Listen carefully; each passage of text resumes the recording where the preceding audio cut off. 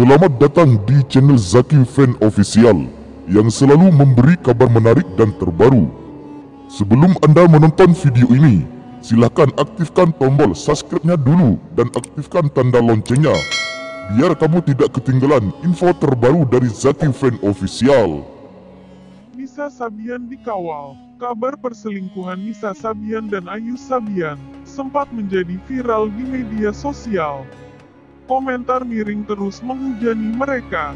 Pihak keluarga pun menyatakan siap apabila penyanyi berusia 22 tahun itu minta dikawal ketika melakukan aktivitas. Kalau saya nggak ada rasa takut sih. Kalau dia, Nisa, mau keluar didampingi, kata ayah Nisa Sabian.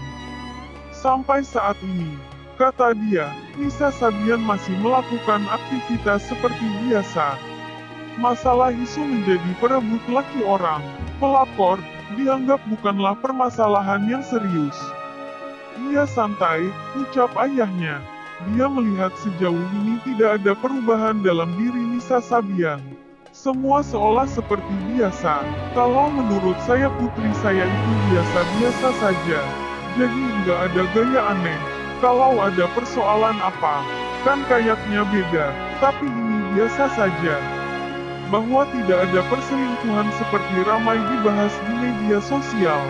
Seperti diberitakan, Nisa Sabian telah membantah menjadi orang ketiga rekan segrupnya, Ayu Sabian. Bahkan, Nisa Sabian sampai membawa-bawa nama Tuhan.